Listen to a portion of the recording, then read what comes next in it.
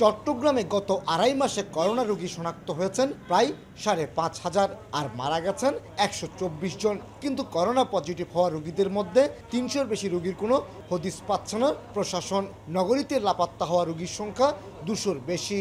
অনেকেই টেস্ট করতে দিচ্ছেন, কিন্তু তাদের মোবাইল নাম্বারটা ভুল দিচ্ছেন অথবা মোবাইল নাম্বারটা বন্ধ করে রাখতেছেন। যে কারণে আমরা পুলিশ যখন তাদের ঠিকানা ট্রেস করতে যাই, তখন আমরা আসলে ট্রেস করতে পারতেছি না।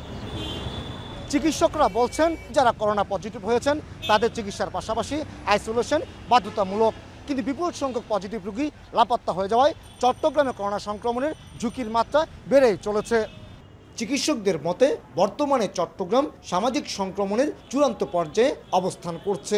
প্রতিদিনই দেড়শো থেকে দুশো রোগীর করোনা পজিটিভ ফলাফল আসছে। আর পালিয়ে থাকা করোনা রোগীরাই বড় ধরনের ভূমিকা রাখছে সংক্রমণ বিস্তারে।